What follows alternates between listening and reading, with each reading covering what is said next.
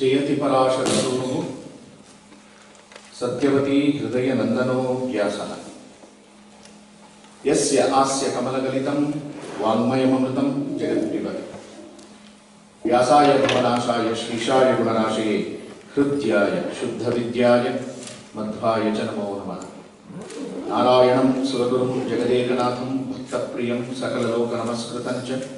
त्रैगुण्यवर्जितमजं विभुमाद्यमीशं वंदे भवग्नम् अमरासरसिद्धवन्द्यं नारायणं नमस्कृत्य नरं चैव नरोत्तमं देवीं सरस्वतीं व्यासं। ततो जयमुदीरयेत्। My dear friends during my last discussion we were discussing about the human values by the characters of Mahabharata that Panchapandavas, Draupadi and Krishna. In that uh, analysis of the human values, we were discussing uh, the human values represented by Bhima, 10 human values. So which are the basics for the study of Bhagavad Gita. These are all the prerequisites before you enter into Bhagavad Gita actually. Unless and until we understand these human values represented by these Panchapandavas, Draupadi and Krishna, we may not understand the heart of Bhagavad Gita, actually what Krishna wants to say. So to have a good entry to the Bhagavad Gita, we need to equip ourselves. During that prerequisites criteria, we started with Rishi, Chandas and Devata, Dhyana Shloka, and the glory of Bhagavad Gita, everything. Then we are into this now. Understanding Dharmaraja representing Dharma. Just for your reference, I am just recap. We are doing recap now. Dharma, Dharmaraja is representing Dharma. Bhimasena representing 10 human values. Jnana Bhakti, Vairagya, Prajna, Medha, Dhriti, Sthiti, Yoga, Prana and Bala. So these are the 10 human values. So I came up till Yoga there. The, how these human value, how we can understand the word yoga here. Yoga is such a word, as I told you in my previous discussion, it is very widely used and uh, without any hesitation we use this word yoga for everything. But uh, this is the most important word in Sanskrita which you cannot find in any other language any substitute. Yoga is such a word where if you want to say in English also yoga, even if you if you want to say in French, there, there also yoga only. There is no other substitute word for this. Then this human value, how this word yoga becomes human value, which is represented by Bhimasena here. So Bhimasena, as I told you, I was explaining how he is very important philosophically. If we understand Bhimasena, then we can understand something in philosophy, what he represents. So that's why I told you, Shuddhe Bhagavate Dharme Bhimaha. So he is the only person who follows the Shuddha Bhagavata Dharma. In Srimad Bhagavatam, we have so many Adhyatma there, but Vedavyasa has given us. But who is the pure devotee who is following according to the Bhagavata Dharma? That is only Bhimasena, as I told.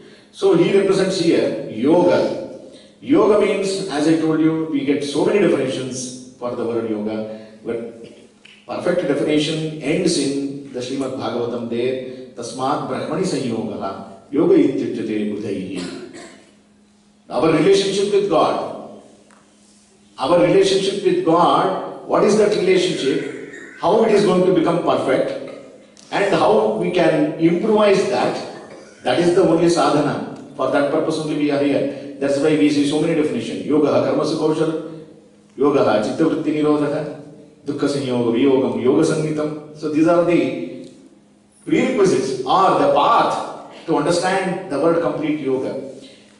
When you reach that word, tasmat brahmani sanyoga, yoga ityuchate budhaihi. Learned people, they say that yoga means it is nothing but brahmani sanyoga.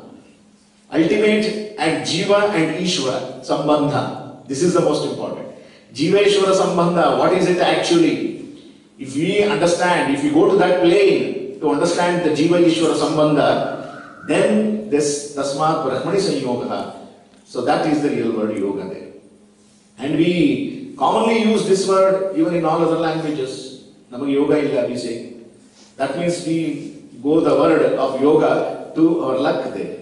If you don't have luck, if you have bad luck, then we say, ನಮಗೆ ಯಾಕೋ ಯೋಗ ಇಲ್ಲ ಇವತ್ತು that means it is not there in the ಚಿತ್ತ of god it is not there in the ಸಂಕಲ್ಪ of god that's why in Kannada beautiful song is there ನರಚಿತ್ತಕ್ಕೆ ಬಂದದ್ದು ಲವಲೇಶ ನಡೆಯುವುದು ಹರಿಚಿತ್ತ ಸತ್ಯ so what ಸಂಕಲ್ಪ god makes there that's what in English man proposes god disposes that's what we hear this so what is there in the ಚಿತ್ತ of god if that is going to happen according to even if we also wish that, then that is the real yoga. Yoga means what we think and what God thinks. If that becomes both equal, that is the real yoga. Sometimes it happens. What we think and what is there in God's mind, that is going to happen. Then we say we become thrilled to have that. So that is the real yoga. 99% what we think it is not going to happen in our life. What we desire, that is not going to happen. Sometime it is going to happen that our thinking and God's thinking, it is going to synchronize there. That synchronity, it is going to happen there. So that is the real yoga. So the Bhagavata says, Tasmat Brahmani Sanyoga, yoga ityutte So we need to get that experience repeatedly that our sankalpa, what we think, then what is there in God's mind, chitta. So if that is going to synchronize, that is the real yoga. For that purpose only we are learning, chanting, reading so many spiritual texts to synchronize our thinking to God thinking. That is the real yoga. That's what Bhagavata says. So this is the human value. See how important this is. This is the human value represented by Bhimasena. So prajna, medha, dhriti, sthiti, yoga, then prana. The word prana comes there. Prana, that word Prakarshena Anati. The pra, pra means again, it is a dictionary. There is a Ekakshara Kosha actually in Sanskrita Sahitya. We hear this Ekakshara Kosha. What do you mean by this Ekakshara Kosha? One letter abbreviation dictionary. The word pra means there is a there are different letters. What does it mean? A, ka, ya, pra, vi, sam, bhu, va, sa, tha, ha, ha. Vishnu Vachaka, they say. They say all these letters they are going to represent Vishnu only. That's why in Upanishad also, aha iti Brahma we say. The word a, akara means it is complete God. That's why the Rig Veda it starts with the single first letter a. Agnimi ile purohitam. That word Agni there, it is not meaning just fire there. Please go to the, don't go to the lexicon meaning there. It is not just dictionary meaning. Many people they comment or they translate the Veda mantras having a dictionary in their hand. But definitely we cannot understand completely if you go to the lexicon meaning there. It is not lexicon meaning which is going to fit into the Vedic mantras there. So Agni means it is not fire there. Agam nayatiti Agni. Angam nayatiti Agni. This is the etymology there. That which makes inert move, that is called as Agni. Agam nayati. Ga means gamana, that is movement. Aga means that force which gives the movement to that which is inert always. That is called as Agni. So the same thing is called as Agni. That is the meaning. One who gave the movement to this earth. Who started this movement to this earth? So he is the real Agni. Agni means it has got different, different level meaning there. So we need to go to the top level to understand Agni means it is not just fire. Agni means that is also one meaning, lexicon meaning there. So that lexicon meaning will not be enough to understand the heart of the Veda mantras there. So that's why Agam Nayati Agni, Angam Nayati Agni. Why we are moving? Because there is Agni within us. That's why we are moving. All our activities are happening.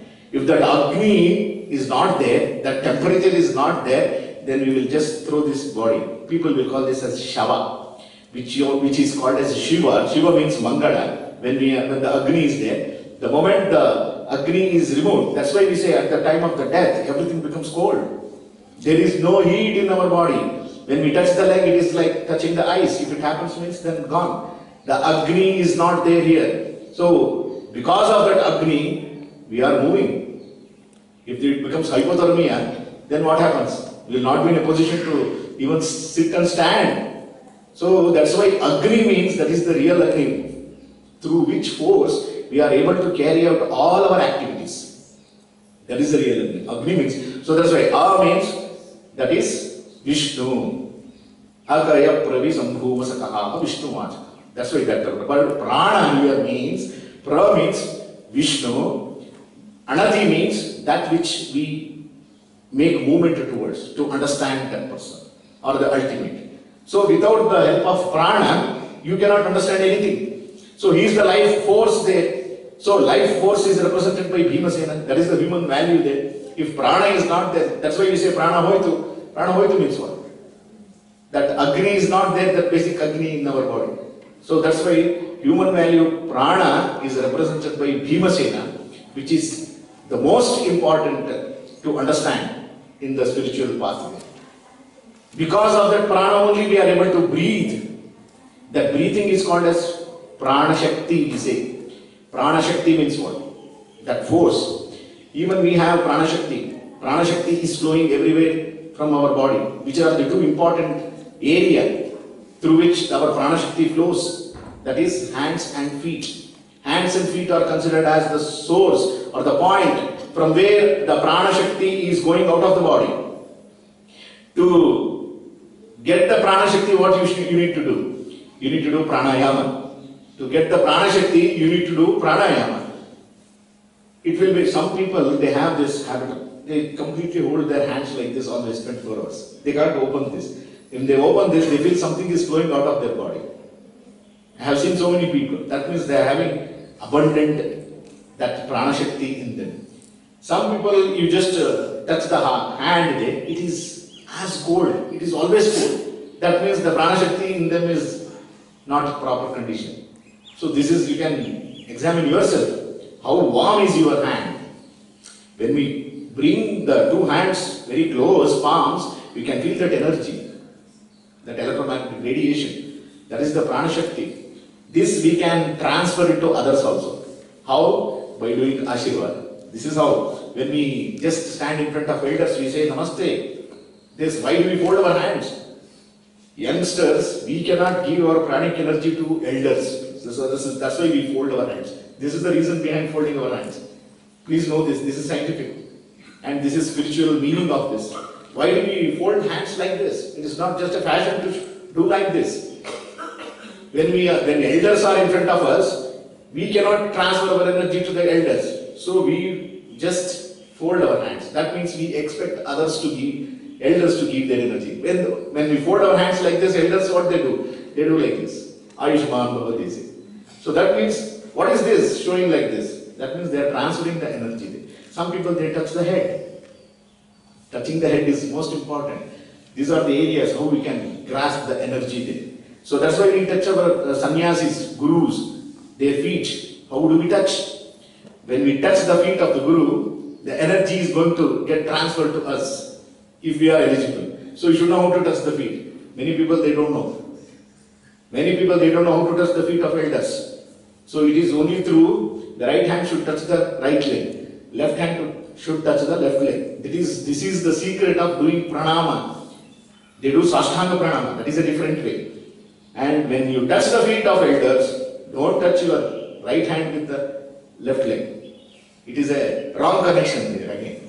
So if you want to touch the feet of elders, do it like this. Right hand should touch the right leg, left hand should touch the left leg. This is the only way how we can get the real energy which is being transferred. This is prana shakti.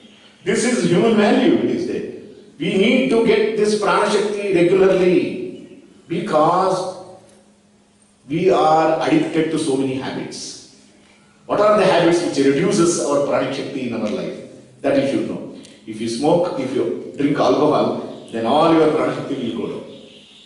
Definitely, your prana shakti will reduce once you smoke, and once you drink alcohol, your prana shakti will not be there at all.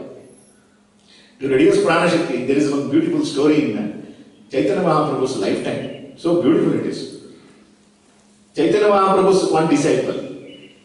He is always very much interested in doing dhyana because Chaitanya Mahaprabhu, he showed him the way how to do meditation. So he was completely absorbed in the meditation every day. He used to enjoy that meditation time there. So morning if he, he used to sit for meditation until evening he never used to get up it seems. So that much of enjoyment he could really get out of that meditation. Then what happens? If you sit in the morning till evening doing meditation, what will be the fate of the family?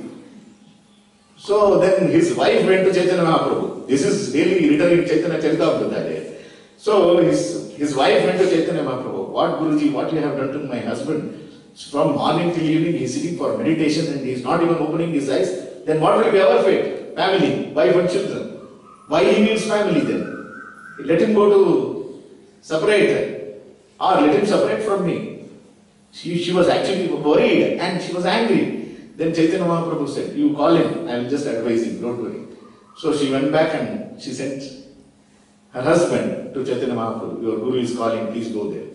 So he went, Guruji, I am very much blessed by your path or your Margadarshana. I am really enjoying. The uh, Guru should be very happy. Oh, best, you are doing very well, you should have said. He just scolded him. What you are doing? Meditation. You are enjoying. What will be the fate of that? Then how can I come out of this? I am unable to come out of this meditation. Once I sit, I am completely engrossed there. How will I come out of this? Please let me know. Then he said, please go to some house and eat Shraddha Bhojana. You cannot meditate again. He gave one idea. Go and have food from other places or in house where some ceremonies are going on. Then even if you want to meditate, concentrate, you, you can never concentrate. You know the moral of this? You cannot eat food anywhere outside. Ahara shuddhau, sattva shuddhi, sattva shuddhau, dhrasmati. This is the quotation it says. If ahara shuddhi is not there, it is going to corrupt our mind. So, to meditate, you need to have pure sattvic food there. That is the reason. When he went for some other home for having this Shraddha Bhojana, then he could not meditate, it seems. See how the effect of this food, what we take, anywhere you cannot eat. You need to completely, you need to filter, you need to know what the food is, where it is prepared, how it is prepared, who it, who is preparing, with what mind, mentality. That's why माँ का भोजन हमेशा बहुत अच्छा लगता है क्यों बहुत प्यार से बनाती है she prepares so beautifully with love that love you will not get in hotel food definitely he may be cursing someone and preparing that food all those gunas will be inculcated in that food. And that food if we eat our mind gets corrupt so this is how our prana shakti to improve we need to concentrate on our ahara vihara. Ayurveda says this to reduce all the diseases it is not the medication which is going to help you it is your ahara vihara. How you are going to diet that is very important. So if you don't follow this then you cannot completely get cured from the diseases i include another one point not only ahara vihara ahara vihara and vichara also the attitude how you show in life so that's why all these our habits are going to enhance this prana this is the human value represented by Bhimasena. So beautiful it is. So let us discuss the next human value, prana, bala, the strength, in our next course, discourse. Till then, Hari Om, that's all.